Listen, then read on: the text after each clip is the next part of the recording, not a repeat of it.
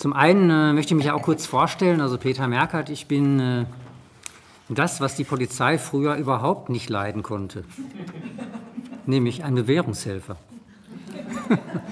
ich weiß nicht, ob äh, Bewährungshilfe so bekannt ist, äh, wahrscheinlich die Polizei ist, glaube ich, äh, auf jeden Fall bekannter.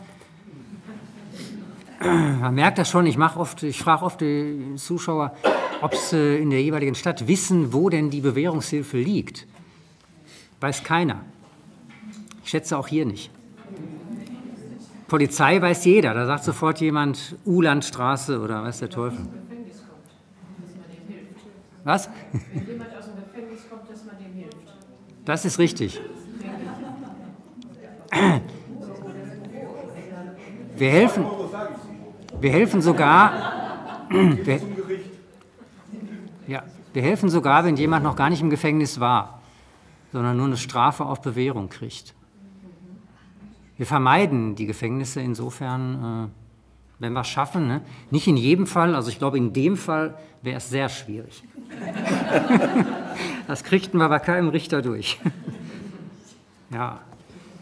ja, aus den vielen Geschichten, ich mache das jetzt schon seit puh, langer Zeit, also 25 Jahren oder noch länger, habe auch schon mal eine Zeit im Gefängnis gearbeitet, also von daher kenne ich äh, oft die Täter und die Hintergründe ihrer Taten und was damit alles zusammenhängt. Und daraus sind auch diese Romane bzw. Geschichten entstanden. Also mein erster Roman Lauter, den ich da auch irgendwo habe. Ja. Uh, das ist, äh, der ist 2006 entstanden, ist also ein Drogenroman eigentlich und äh, den Anfang, den Plot hat mir auch ein Klient erzählt, muss ich sagen. Der kam gerade aus äh, der Entgiftung aus Dortmund. Da ist so ein Hochhaus in der Entgiftung und hat äh, dem beigewohnt, wie sich eine Frau, also eine Patientin, aus dem Fenster gestürzt hat.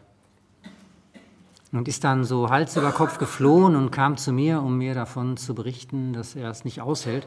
Und da habe ich dann diese eine Liebesgeschichte draus gemacht. Er hat sich dann in die verliebt und hat die auch gefunden, weil die überlebt hat. Naja, das war der erste.